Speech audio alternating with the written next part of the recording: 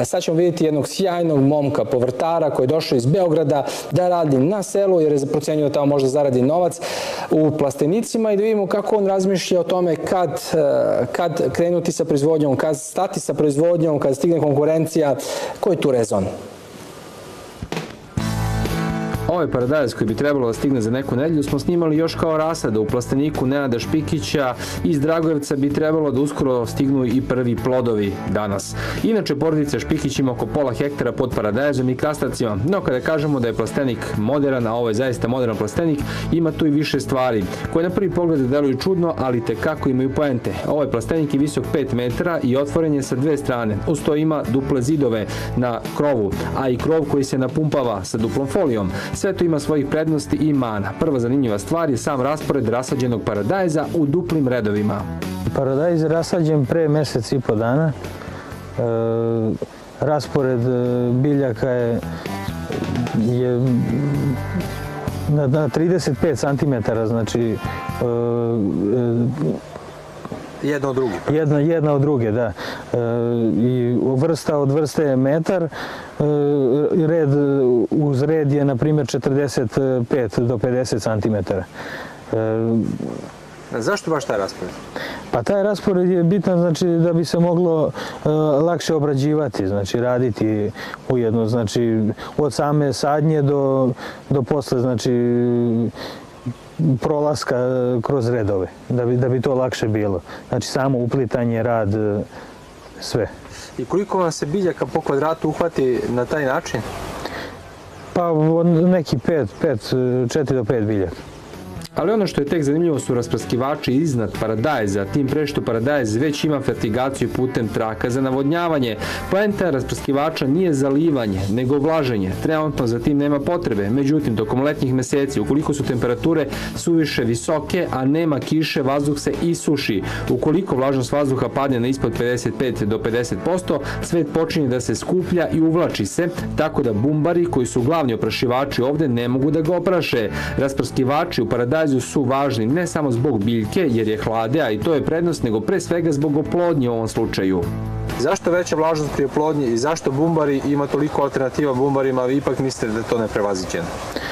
Pa oplodnja, oplodnja ne može ovaj, da, da se uradi ako je temperat, ovaj, vlažnost vazduha ispod 50 50%. Bumbari jednostavno ovaj, rade na, na, na tome, oko od 55 do 60%.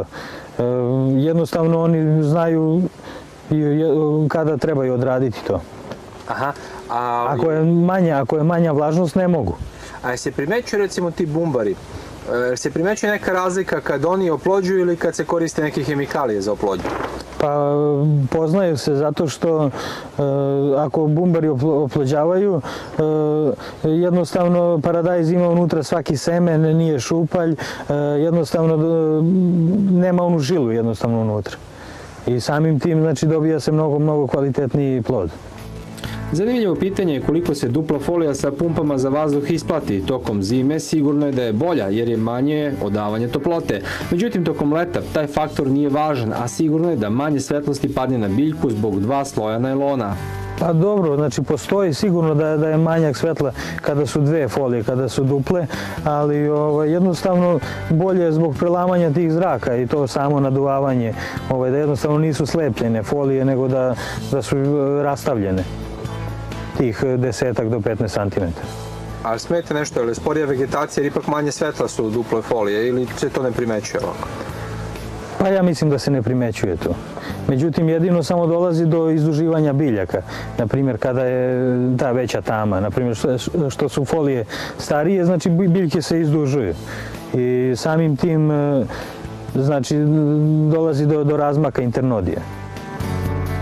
A kad smo kod svetlosti, promenljivo vreme je ove godine značajno otežalo proizvodnju krastavaca. Mada krastavac crni, bradavičasti, špalirni, koji je na našem tržištu najtraženiji, izgleda u ovom momentu najbolje moguće, ima dosta abortiranih plodova zbog promenjivih temperatura.